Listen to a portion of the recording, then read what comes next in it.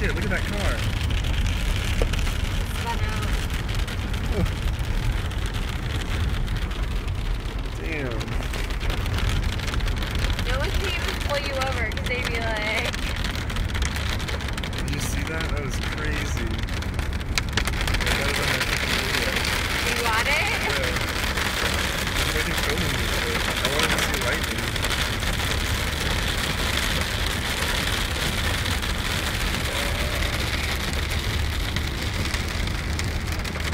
It's fucking tailed. I just filmed the car accident. It's insane. How rad it was that. And now it's like all nice. Yeah. the weather's like perfect now. We get towards the beach. It's all nice. Yeah. No, it was hailing earlier, and I was, was- like, "What the fuck?" And I was talking to my cousin on the That phone, was and the ghetto back there. yeah, no, my cousin's like on the phone with me earlier, and I'm like, "It's fucking hailing." She's like, "What the fuck are you talking about? It's not hailing." It's because she. It's because we live near the beach. Isn't hail there? Nothing happens there. Oh yeah.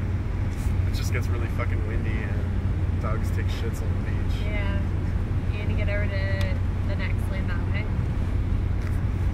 Unless you want to go to like Talkable or something, and then you stay in that lane. It's alright. You said you just wanted to go home.